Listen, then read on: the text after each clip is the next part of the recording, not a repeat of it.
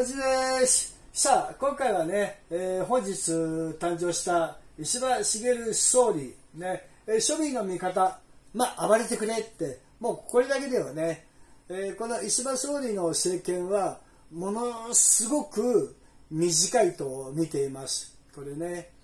で皆さんはまあ覚えてるかどうかわからないけどあのおじもうこの YouTube 始まってる頃からずっと石破さん推しだったんだよね。よくあの雑談のトークで出てくるけどであの前回のまさかあの増税メガネが勝つと思わなかったんであーってねなったけど、まあ、一番前から惜しいところにいるんだよね。でいろんなメディアにも露出してるし、まあ、結構庶民派なんだよね本当に。なのでねであとこの人の場合ってあのもっとずっともう何十年前からずっとしてるんだけどこの人ももう今いいおじいちゃんになっちゃったんで結局今の政治引っ張っていくのは、まあ、もうちょっとこう若い方がいいなっていうのとあとあの丸くなっちゃったんだよ。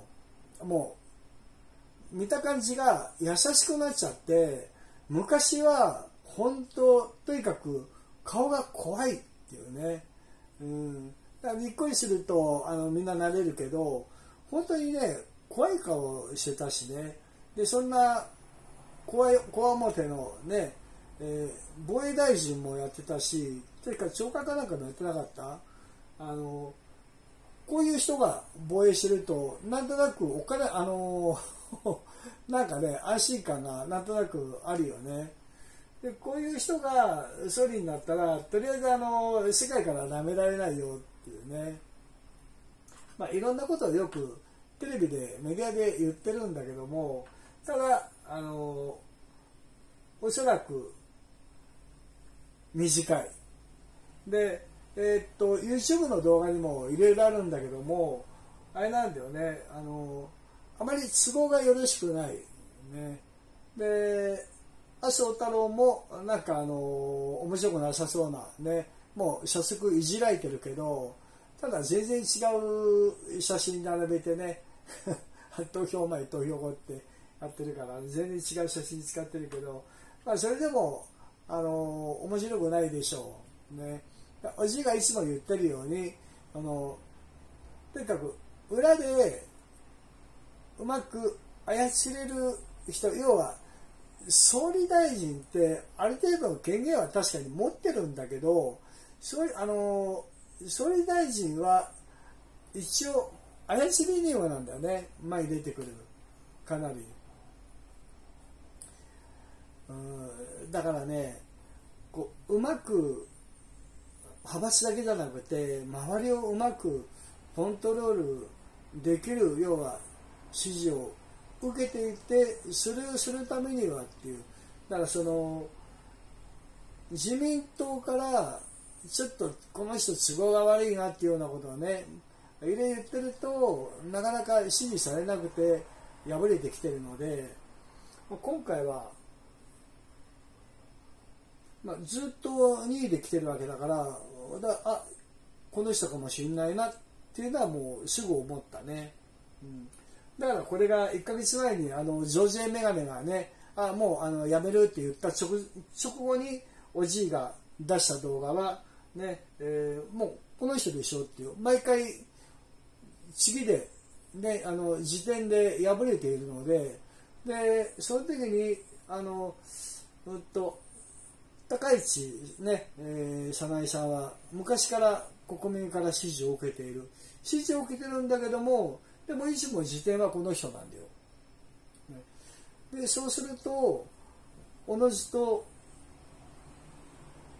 まあこうその支持層っていうのはある程度変わってはくるんだけれども、まあ、国民の人気とかそこら辺はこうわーって大きくその時の波があって変わるけどやっぱり議員の中っていうのはそういうのはないよね。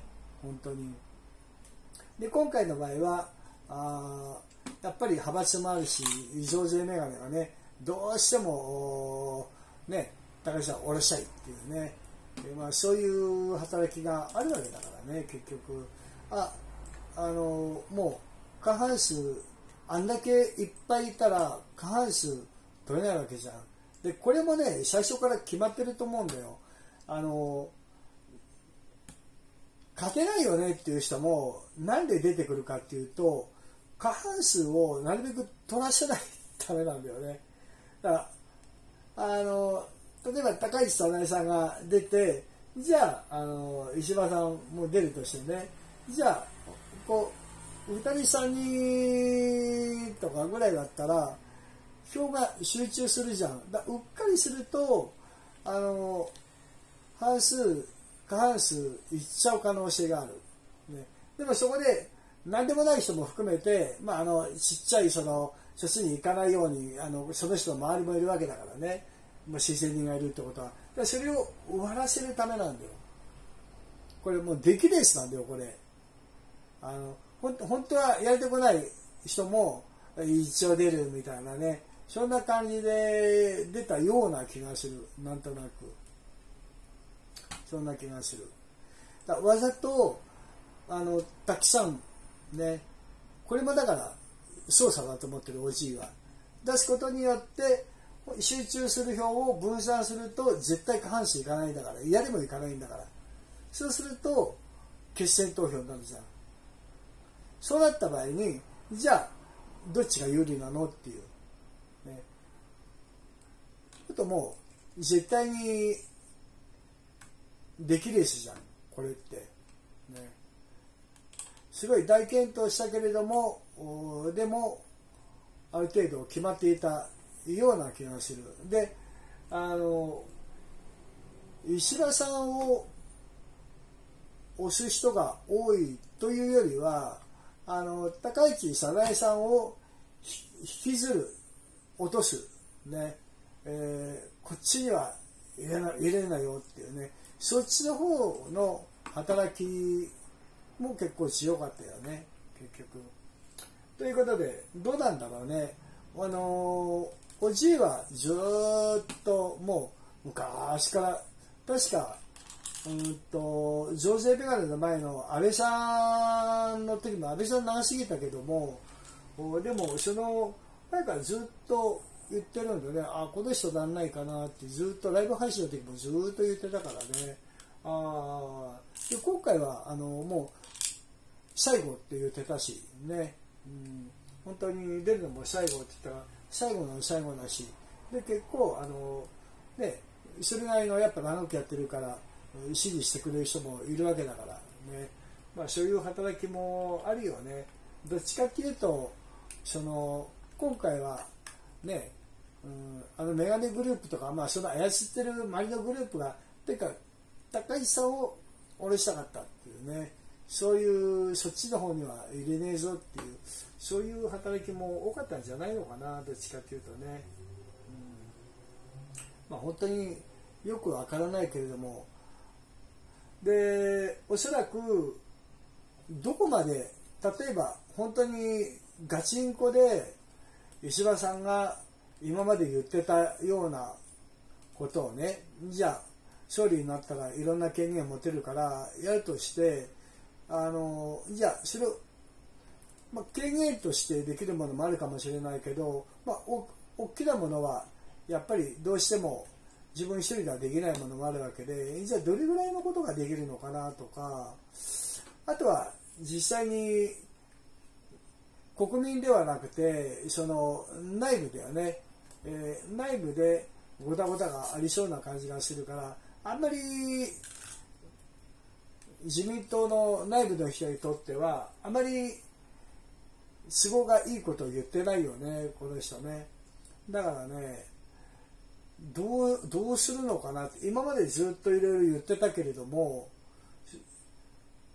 最後に実行できるのかなするのかなってどうなんだろう。それとも実際に総理になっちゃったらあやっぱできなかったのかなって。どっちなんだろうってね。おじいはそこにすっごい興味がある。で自民党員なわけであの自民党は自民党で変わらないからやっぱりあの石破さんが本当に思ってるやりたいことをやってるとそればっかりやってるとやっぱり反発圧力がものすごい大きいと思うからね。そうすると追い込まれるよね。追い込まれる。あ短いと思うよ。本当に。じゃあ短い結果はその後の結果どうなるかっていうとこれ石破政権は本当に早めに終わってで次にもしかしたらねもしかしたら高市早苗総理が誕生するかもしれない。ね。えー、あのー、人気が高いよね、うん、でもあのこう都合がいいとかどうのこうの言ってる人たちもいるけどややあのどうだろうね。しっかりと言うことをズバッと言うしね、うん、発言力はもうすごいキパッとする人だからどうだろう。ただ高市さんがあれだよね。あの総務大臣やってる時にレンタル w i f i があれだったけども NHK のことに関してもあの言葉で言ったけど何も実行がなかったんだよね、うん、動画に残ってるよね。あの結構「おいいぞ」っつってね。飲み込んでくれて「いいぞ」ってこう言ってくれてもそこから何も実行がなかったんで、うん、そこら辺も視聴者さんがね残念だねって言ってたことはあるよね。だから必ずしも国民の人気と支持と、まあ、あの一部のパフォーマンスとあと結果結果論が一致しない。一致するとは限らない。ね。なんだよ。うんどうなんだろうね本当。まあ国民に対してね、えー、温かい優しい、ね、政治になっていくことを願うけれども、うん、こっちはもう前々この男なら世界から舐められないぞっていうねちゃんとあのしてくれると思うけどね、うん、でも短いと思う。絶対に。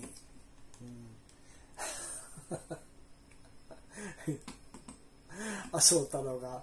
ふんすり返ってる何っつってね。あのー、もう面白面白くなりそうだよ。本当ね。で、えー、これだね。金融所得課税ね、えー、もう遠慮しないで思いっきりガンガンガンガンね。もう本当前代未聞の家事をねガツンとやってくれりゃいいよ。本当ね。あのここは日本なんだからね、うん、アメリカはあれでしょ？あのトラこういう投資家の人たちはね、うん、トランプさんを応援するけどもまあ日本も同じような傾向になるけどどうだろうね。金融所得課税どんどんどんどんやってくれればいいしあと飯島さんが勝利に決まったらね円高になったね種目ねバーンして一気にね。うん。すごい。これからも良くなってると思うからあのー、本当我々庶民にしてみたら円高になってくれた方がっていうのがあるし、ね、高市さんはあの、ね、えー、円安だどんどん売りましょうってねこれ言ってたけども、ね、まあでももうこれはもう遠慮せずにおじいの視聴者さんはねあの結構投資家が 多いと思うから何？って思うけどいやあの余ってるお金がいっぱいあるところが取ればそうしないとだって増税増税ばっかだからね、うん、でおじいはね消費税は別に30%でもいいと思ってるんだよ。いろんなものが値上げとか消費税が上がったとかってなんか言うけどとにかく消費税自体は30%でもいいんだよ。ただ内税でやってほしいんだよ。あの分けるとなんか余分なお金を取られてるってそう思うわけで我々あの我々が寒くなると買う灯油とかね車のガソリンとかってたくさんの税金が入ってるって知らないでしょ？あのガソリンの中になんとかでなんとかでなんとかでっていうのがすげえいっぱい入ってるんだよ。あれって。びっくりするぐらいたくさんの税金が入ってるんだよ。それが1リッターいくらであのいくらってなってそれに消費税がまたさらにくっついてるんだよ。だからね本当あのもうこれ外に分ける必要はなないんだよ。しかも一部の企業はね儲かるかもしれないけど中小企業個人商店とかいじめてるだけに過ぎないからね。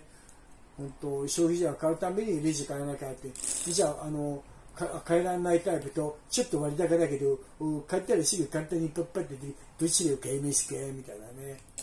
本当にねあの庶民が安、ね、ちょっとでも安くって削ってるところほどすごい負担になってるからね。消費税は30%取ってもいいいいけど全部内税でやって分かんないようにしろね。だってついちょっと前までさ牛丼が250円だったじゃん。ね一杯。すき家も吉野家も。250円でさねあの本当夜間の大根バイトやってる時も250円の吉野家を買って券をくれてで3杯貯めると1杯余分にくれたねあったよね。1杯250円の牛丼が今いくらになった？そうでしょ？今もう倍になってるでしょ？ね。だからね本当別にいいんだよ消費税は30%でも、ね、別に100%を上げるわけじゃないんだから、ね、でそこから内税でやってほしい。本当。ねめんどくさい。であとこれだね、えー、自動車のオートマチックを日本国内は廃止するべきだよ、うん、国民の命を守る最優先。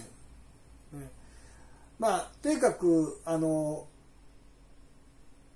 年寄りが、ね、若い子供たちとかの命を奪う例がものすごく多くて、年寄りが年寄りの、まあ、命を奪うのも良くないけれども、でも国として見てこれってなんでそのまんまなのっていうと、結局、子供以外は早くお亡くなりになってくれた方が、国からの補助もしたくてもいいし、ね、年金も払わなくてもいいし健康保険の負担もしたくてもいいし大いにあのああもう結構結構あれだめこれだめ吠えちゃったってみんなあの教師がゲームやりながら学生引いて殺しちゃうんだからね。みんな大体あのなながら運転結構多いしね。であといろいろボケちゃったりとかね。自動車はマニュアルの車で、ま、あの間違えたとか突っ込んだっていう例ってあんまりニュースで見たことがないんだよ。このオートマが悪い。ね、で身分証のように運転ができないのに上げる今の制度が悪い。本当に国民の命を守りたいと思ったらね、あとあの交通も渋滞緩和にもなるし、ね、とにかく未来の子供たちの命を守るために自動車はマニュアルにすべきなんだよ。ね。まあ、チンピラみたいなのも多いけど、ね、あの、バカ女が多いんだよ。運転もできないくせにでっかいの乗って、あの、迷惑運転するのも多いし、ね。だけど、おじいのドラレコにはバカ女だらけで映ってるのが、何とでも言ってやるバカ女が多いんだよ。ね。だから本当、ちゃんとマニュアルでね、実地で乗れる人しか、運転ができますよっていう証明書で発行してるものなんだから、運転できないやつ免許証なんか発行するべきではないと思ってる。まあ、その前に、ね、このオートマを廃止することによって日本はちゃんと車を運転できる人だけになるし、あとむちゃくちゃなながらがやりにくいから、ね、減ると思うよ。まあ、昔からトラックの運転手はね、足でこうちょっとこう持ちながら弁当食いながらっていうのがね、まあ、当たり前だったけれども、ね。まあ、一般の人はあんまりそれやらないんでね本当。だマニュアル、ね、マニュアルにすれば国民の命を、ね、たくさん救えるんだよ、ね。まあ、ここをぜひねやってほしいね。でタバコ税。日本はものすごくタバコが安いんだよ、ね、だからね1本500円にすればいい。タバコ。ね、それぐらいでいいんじゃないのかな、ちょうど。日本がね、もうちょっとこう世界に先頭に立って、ね、うん、こういうのやらないとダメだと思うよ。本当ね。ただ石破さんは確かなんだっけタバコのなんだかなんだかなんだかの服服なんだかやってた。あるよねなんかね。あの人タバコ好きなんじゃないか。ね。ね。とにかくタバコ税ねここっからどんどん取ればいいんだよ。本当。1本500円でも1本1000円でも取ればいいんだよ。ね。タバコ税が安すぎるんだからタバコをあげろ。ね。で、えー、まあこれも言ってるけどね、まあ、年金自体を廃止しないともう若い世代に重荷になるだけだしあのただ辛いものを幸せるだけ。ね。えー、麻生太郎も言ってるじゃん、ね、人生100年時代。1人 ,1 人頭2000万だか3000万だかね。ちゃんと自分で貯めてくれっつって、ね、言ってるわけだから。てか若い世代は重荷になるだけでね1人当たり3人ぐらいされなきゃなんて冗談じゃないでしょ。う、ね、だから本当年金なんてものはね完全に廃止すればいい。民間に任せればいい。そんなものはね。はい。であと国道ね税収のこともちゃんと考えてる。国道はオービスをバンバン設置すればいい、ね。えー、500m 間隔で設置してもうあの10キロ超過したら作動するように。大体あの国道についてるオービスって大体あの100キロ近くないと80だと光らない、ね、60キロ道路で80だと。大体100キロぐらい出てると完全に25キロ以上オーバーじゃん。赤切符でしょ。それでしか光らない。でも国道だったらねもう 500m 間隔で10キロ超過ぐらいからもうどんどん作動するようにすればいい。バカバカバカバカ。それで、えー、首都高とか湾岸道路ね一番危険な事故が多いからね 200m 間隔で設置して5キロの超過でもちゃんと作動すればいい。で結局マイナンバーの免許証もね、えー、あるわけで要はその車のキーはねあの独自の暗号化とあとマイナンバーも刺さないと車が運転できないようにすればいい。でマイナンバーは銀行に紐付けでしょ？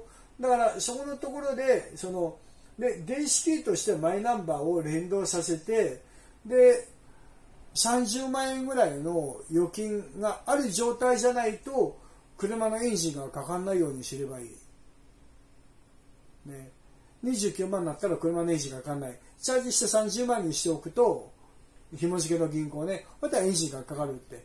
でその連動したらとにかくマイナンバー連動でねもうあの銀行も食事決済だからピカッと光った瞬間にもうその罰金発送金がパコーンってここから食事決済でパーンっていけば即税収になるじゃん。国庫金にポンポンポンポン入る、ね、で、えー、30万円を切っちゃったらもう車のエンジンがねかからない。ほんとチャージしないと乗れないから30万円もまたお金する。よくよく捕まる人はねあの40万円ぐらい入れていけば、ね、23回ぐらい捕まっても大丈夫かなパカッて光っても大丈夫かなっていうね、まあ、そういうふうにしていけばいいね。だからあの税収はここから。そうするとお交通ルールねしっかりと守る人が増えてくると事故も減るよね。本当。はい。であと高級車の特別税ね。これをもうどんどん導入すればいいね。あの毎年1回重量税5月頃来てね払ってるけどもそこに足せばいい。あの高級車は1ヶ月あたり10万円乗っけて年間だ重量税に10万円だ120万円加算すればいい。ポリシェとかフェラーリとか。ね。ポリシェとかフェラーリとか、ね、そういう車、ね、高級車は特別税を乗っける。年間120万円ね税金で乗っけるべきだと思う。ねぜひこれをやればいいと思うね。であと詐欺師ペテン師税ね。これもしっかりとやってほしいね。えー、詐欺師ペテン師が、ね、おー、あんまり、うん、リアルすぎて、え、ああ、これゲームか。いや、どっちがリアルか分かんなくなっちゃった。ね。って言いながら、あの、右に曲がれないっていうね。そういう詐欺師、ペテン師。もう、受難数が出て何年経った？なんで、なんでリアルリアルっていうのが右曲がれないの？お前は現実の世界で右カーブでいつも真ん中でダーンって言ってんのかお前はっていうね。本当リアルリアルと言いながら曲がれない。ね。そういう詐欺師ペテン師で、そういうペテン師がいたら、一動画ごとに風、そういう動画ね、あのシミュレーターでもないのにね、これはシミュレーターだなんて言ったら、その動画1本ごとに300万円の家事を知ればいい。ね。あの金をいっぱい買ったんだとかね、なんだかんだ自慢してる、ね、えー、詐欺師ペテン師は、詐欺師ペテン師像、税、ね、えー、税収どんどん取ればいい。はい。で、あと、あの、取るばっかじゃなくて、YouTuber 支援金もちゃんとね、えー、考えております。まあ、YouTube を専業で毎日動画を出してるんだけども、月30万円稼げない人は30万円からね、例えば月の収益が5万円しかなかったら、じゃあ不足分の25万円をね、じゃあ補填してあげましょうっていうね、YouTuber 支援金、ね、こういったのも補助でね、付け加えるといい世の中になるかもしれない。ねで、あと、高齢者にもね、支給を、モトローラーを支給しようって思ったけど、モトローラーは一月の会社なんで、あの、これギャラクシーにしよう。ね、えー、そういった、あの、なんでかっていうと、子供たちには、独リンゴを支給してるでしょ？税金で。子供たちには。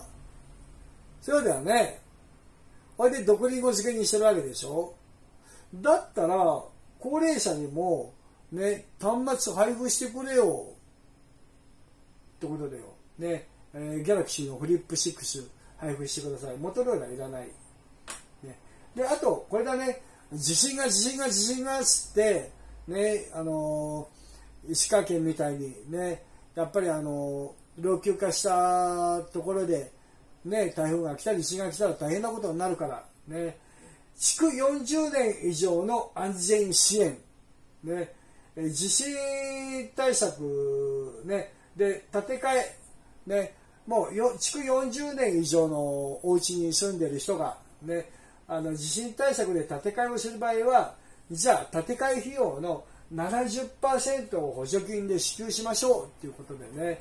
であのちゃんと耐震住宅にみんな建て替えれば地震が来たりとかあの津波が来たりとかねあの川が氾濫したとしても流されちゃったりとかね、えー、そういったあの被害は最小限に食い止めることができるんです。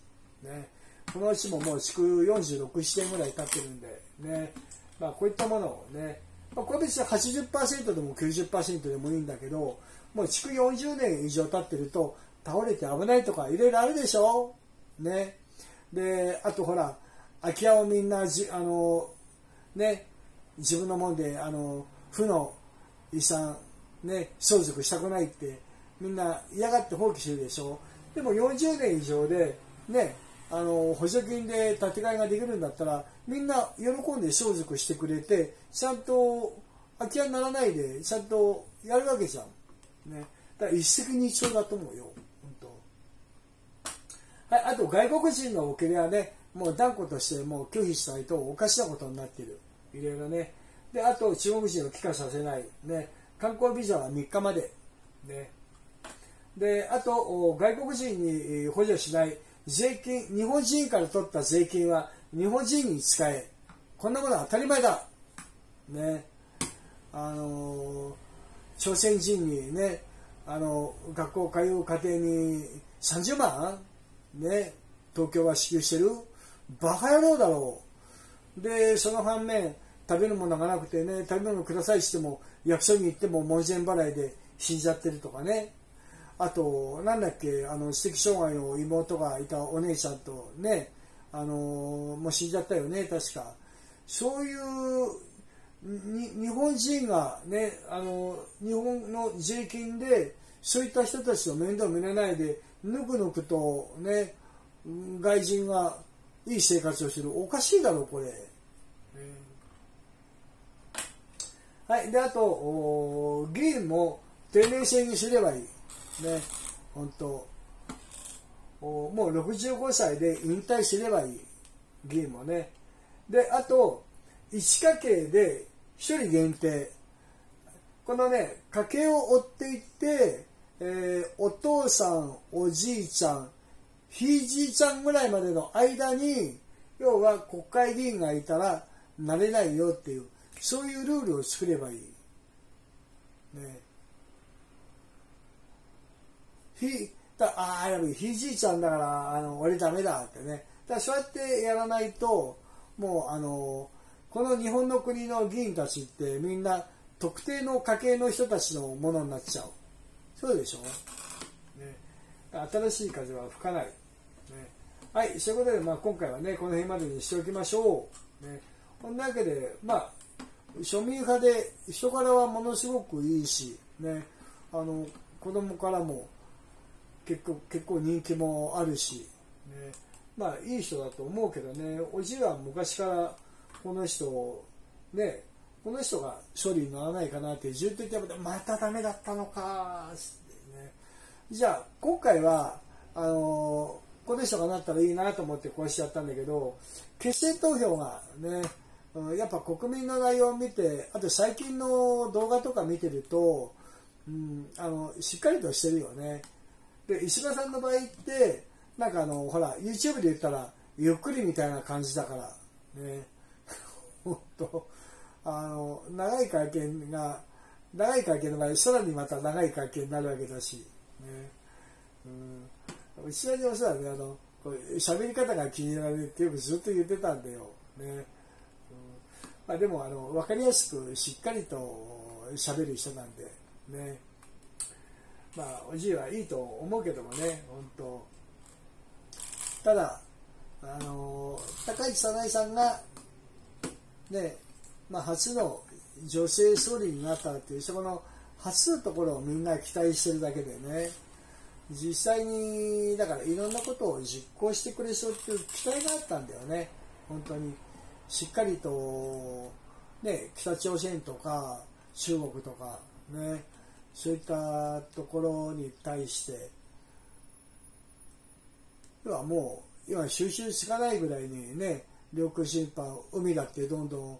であの日本海側だけじゃなくて太平洋側の方だってそうでしょ？三陸のとこまで来てみんな魚かっさらってるんでしょ？あのすごいことをしてるわけじゃん、ね、本当にね強く厳しくあの人ならやってくれるんじゃないかっていうねそういう期待感だよね。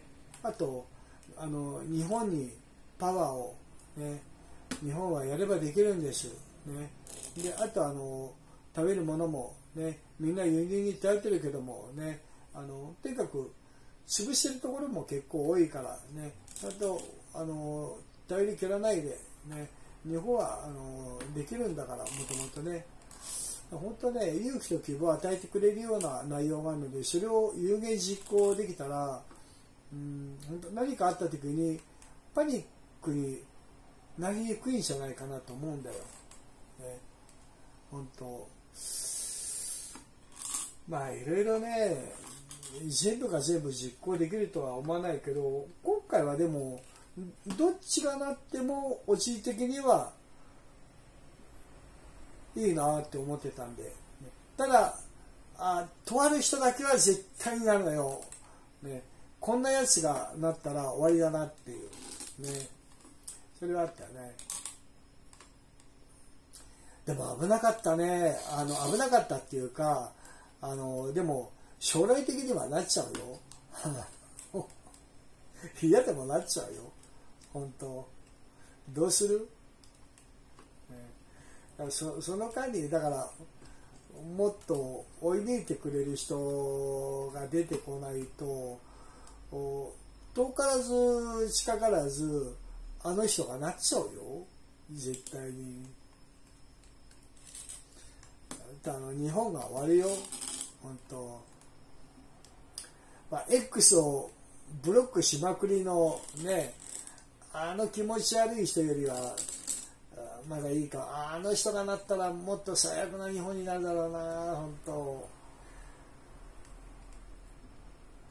どっちも最悪だよね。どっちも最悪だけどどっちも最悪だけどでも周りからの操り人形の方がまだアホなこと考えてる毒の塊よりはまだそっちの方がいいような気もするけどね、あの気持ち悪いやつだけには絶対に勝利にはなってほしくないなっておじいは思うけどね、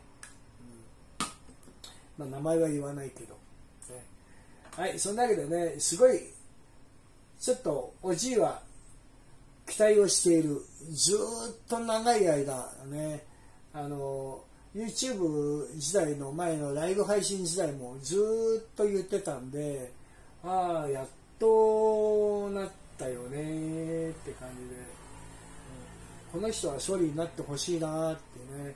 一度はなってほしいなと思ってたんでね、うん、本当あの悪夢見たもん。あいつが勝利になったらどうなっちゃうんだろう。あのその知識でね世界から笑われませんかなんてね記者会見もあったけどいや本当ねとんでもないことになると思うよ、ね、その最悪は免れたっていうことで一応あのみんなほっとしてるでしょ。ああよかったーつって、ね、でも近からず遠からずなっちゃうよ。絶対に。で、まあ、石破さんは本当に実行しようとすることをそれを妨害する人たちがどんどんどんどんだんだん露骨になってくるだろうからね。うん無念な無念な状態で終わるか。それとも何かを成し遂げてくれるか。どっちなんだろうね。本当に優秀の美を飾ってほしいけどね最後はね。頑張ってほしいな本当、ね。まあそんなわけでおじいの提案したものをね一個でも多く実行してほしいね本当、はいそういうことでとにかく国民の未来と安全を願うんだったら外国人の問題もちゃんと清算してもらわないと困るしね。あの車の免許のことも考えてくれないとオートマチックはオートマをなくすとすごくいい世の中になると思う。で今あのタクシーだって余っちゃってどうのこうのとかね。でもあの無人のやつ要はあの事故ばっか多いオートマチックが多いとその安全に走れるレベルいくつだかの無人のタクシーが日本もねあの導入したとしてもでもあの巻き込まれるじゃん。要は回避できなくて巻き込まれる自動運転タクシーとかバスが増えちゃって今の日本はダメすぎると思う。だちゃんと車あの周りが車を運転できる人で固めるっていうのと適度な交通量にしないととんでもないことになる。でなんでみんな1人1台持たなきゃなんないのっていうね。あのそこがおかしいんだよ、ね、そもそも。車は便利な道具として一家に1台あればいいんだよ、ね、2台はいらない、ね、だ本当あの世帯、ね、世帯分離で住んでたら2台置いていけばいいし、ね、そう思うよ。本当。車がねダメなんであとじゃああの車じゃ乗れない人どうしようといいんだよ。あの自転車で、うん、昔の中国みんな自転車だらけだってさもう今こそ日本は狭いんだからみんなあの自転車でいいんだよ、ね、電動アシスト自転車乗ってればねいいんだよ、ね、そういうこと。でとにかくあのもうスーパーカーはねいらない。日本にスーパーカーはいらない。ただ GTR とか作って海外に輸出するのはあのいいよ、ね、で海外から外国車を輸入するのはもうあの、ね、逆輸入だったら関税500%ぐらいね、えー、かければいいしお金持ちからはどんどん取ればいい、ね、とにかくあのお金持ちだけにお金を集中させても要は今の苦しい人たちがどうにもならないからね。お金余ってる人はこの、まあ、一回並べ並べ、まあ、一番いいのが、ね、国民全員の財産を一回国が全部吸い上げてであの鳴らして分配すればいいんだよ、ね、平等。あの昔の中国になればいいんだよ、ね、みんな平等に灰色の服に灰色のズボン着て、ね、でみんな同じものを食べて、ね。えー、みんな同じ自転車に乗って、ね、ああのスタイルが一番いいんだよ、うん。ね、あの格差がなくていいんだよ、ね、もう今の日本は格差が広すぎるから、ね、今こそあの中国のあの時代を見習うべきなんだよ、ね、だからそういったら、うんとまあ、静岡みたいな田舎田舎を除いて、ね。まあ、都会とかいうところはもう全部ほら排ガス規制とかうるさいでしょディーゼルとか。か全部あの宅急便以外はね。みんな役所の車と宅急便以外は全部チャリンコにすればいいんだよ。ね。チャリンコウーバーイースとかああいうのもチャリンコで頑張ってんだからさみんなチャリンコでいいんだよ。郵便屋さんだってチャリンコでやればいいし。ね。うんいろんな配達チャリンコでやればいいし。みんなそれでいいんだよ。チャリンコで頑張ればいいんだよ。そうすればみんなあのねデブが減る。みんな自転車に乗れば、ね、健康でそうすればあの医療費の負担だって近くで済むしいいことだらけじゃないか本当。で中国みたいにね朝と夕方は公園にみんな集まって、ね、こうやってこうやってみんなねねみんな集まってこうやってあの運動すればメタボが消えるんだよみんな、ね、健康なんだよ、ね、それで、まあ、中国を見習おう。今こそ。ね。はいそんなわけでね、えー、しっかりと日本を防衛してください。はいそんなわけで、まあ、庶民の味方なので、えー、まあ、暴れてくれるんじゃないかなと期待はしております。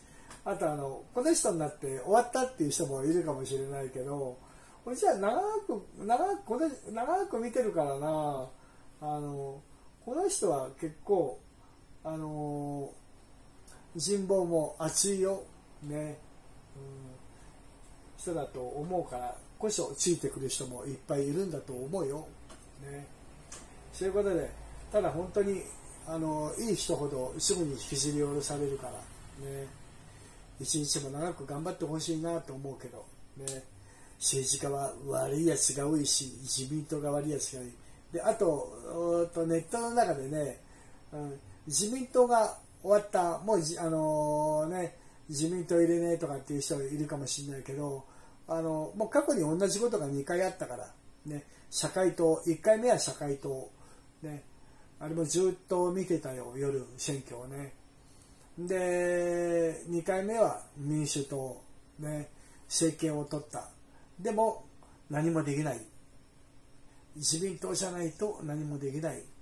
だからあのもう掘り出してね、えー、じゃあ約束ですよって言いながらね、えー、もう野田さんがね安倍さんにじゃあお願いしますよ約束ですよ 総理って言いながらねあのねバトンを渡した、ね、あれが結構衝撃的だったね本当ね。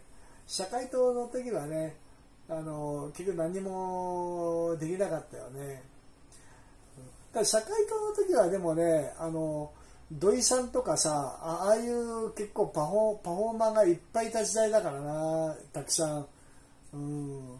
すごい頑張る女の人も結構いっぱいいたからね。でただたまたま社会党の場合はね党首が総理になるとからあの岩飛びペンギンみたいなおじいちゃんが 総理になって、ね、まあなんともあのすごい総理が誕生したなっていうのがね。あれがでも結構背筋がピーッとしてしっかりとあれあのおじいちゃん名前あ村山総理だ、ね、しっかりしたおじいちゃんだったね本当。うん。ね。まあ古き日本人って感じだよね本当に。ね。まあ、そのわけで、まあ、あのかっこいいおじいちゃんが勝利になったけども、ね、でも社会党ではちょっと無理だったね。と、うん、いうことで、でも、じゃあなんで自民党が、ただ大きいから自民党がなのかっていうと、なんだかんだ言いながら、この世の中っていうのは、黒い闇の力でこうがんじがらめでねできてるんだよ。これは政治以外の社会もそうなんだよ。ね。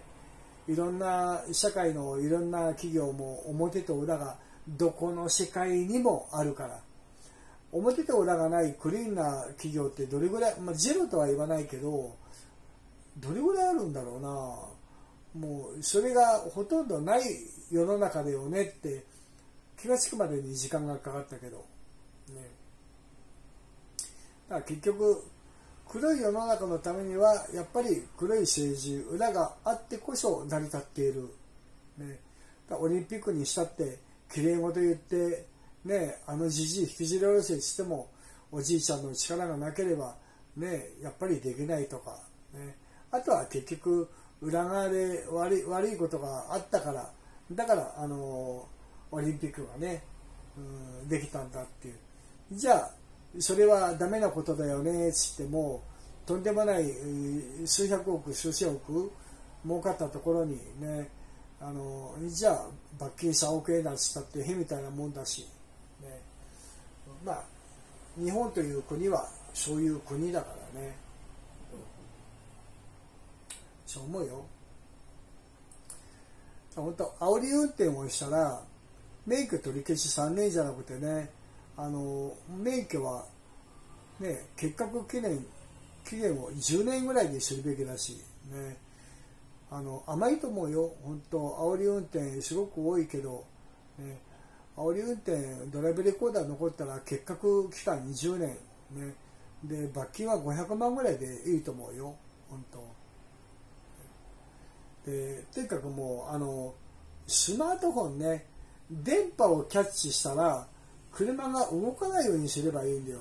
ていうか車の車の中はほらあの電波遮断する装置があるじゃん。あれをもう強制的にやってその空間の中は県外で、停止してる時は使ってもいいんでしょ？だったら停止して、停止してる時は県外解除でいいじゃん。で、また走り出したら県外になればいいんだよ。ああのシステムが、おうんと、もう40年ぐらい前かな、おじいが今からね、37、8年ぐらい前に、えっと、この装置をね、開発したから、ね、これをあの広げるんだっていう人に会ったんだけどね。何のあれだかな確か。あのそれを実際に検証でね。当時 PHS とかだったけどもあの、まあ、検証しててああ県外になった。でこれをいろんなねなったら困るようなとこ施設だとかね。あのそういうところに要は企業に売り込むってね。もう今も当たり前にあるでしょそういうの。ああいうのを車に取り入れてその空間の中は圏外になるようにしないとダメだよ、ね、なんだかんだ言いながら携帯いくら法律でダメだよしたって携帯見ながら事故が多いのは事実なわけだし。ね。あとあのもう猛録してる年寄りは免許返納なんてこと言ってるんじゃなくてさあの実地をやればいいよ。普通に毎年実施、ね、免許の書き換えのつまんないテストじゃなくて実地やらなきゃダメだよ。講習じゃなくて実地試験。ねあの最終的にもほら仮免までは学校に行っても最終的にはやるでしょ？実地を。試験やるでしょ？あれをあれをやればいいよそのまんま普通に。